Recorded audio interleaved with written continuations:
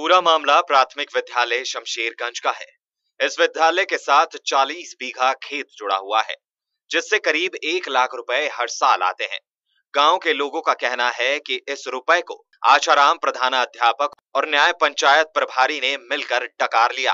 क्या दिक्कत है हमारा नाम हरिकृष्ण है मैं ग्राम पंचायत का सदस्य हूँ और हमारे पूर्व माध्यमिक विद्यालय शमशेरगंज से चालीस बीघा ज़मीन लगती है। जिसका अभी तक कोई भी लेखा जोखा इनके पास नहीं है और लगभग एक लाख बीस हज़ार, करीब ग्यारह लाख बीस हज़ार का घोटाला हुआ है। जो भी विद्यालय के जो अध्यापक है, ये करते हैं। जबकि कई बार मैंने जानकारी भी ली, खंड शिक्षा अधिकारी और बी एस साहब से भी जानकारी ली, लेकिन जानकारी देने में एक भी अधिकारी सक्षम नहीं हुआ। तब मैंने जाके डीएम साहब से कल गुहार लगाई, न्याय की कि सर हमारे विद्यालय की ज़मीन है, इसका मुझे पूरा पूरा पूरा विवरण चाहिए कितना इसमें पैसा बचा है क्या है क्या नहीं है। क्या नाम है तुम्हारा? हमारा हरिकृष्ण है जी। अच्छा कितना घोटाला होगा लगभग? लगभग ऐसा ग्यारह लाख इक्कीस लाख रुपए का घोटाला होगा सर। जब इस विद्यालय में पुष्पा देवी ने जो कि शिक्षा मंत्री के पद पर कार्य कर रही हैं, हिसाब मांगा तो उनके साथ मारपीट कर बदसलूकी के अलावा उन्हें जाति सूचक गालियाँ भी दी गई। और भी जाति सूचक गालियाँ दी कि तू चमरी आए तू क्या उखाड़ लेगी?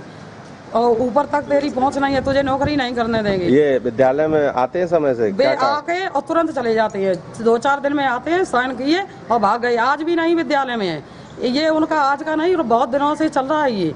हरि किशन ग्राम पंचायत सदस्य ने बताया कि इस संबंध में कई बार विभागीय अधिकारियों से लिखित व मौखिक शिकायत की गई मगर किसी भी अधिकारी ने नहीं सुनी।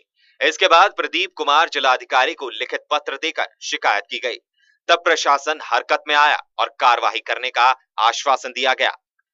वहीं दूसरी ओर ब्रजेश कुमार ने बताया कि ये गवन हमारे पूर्व प्रधानाध्यापक आशा राम पांडे ने किया है।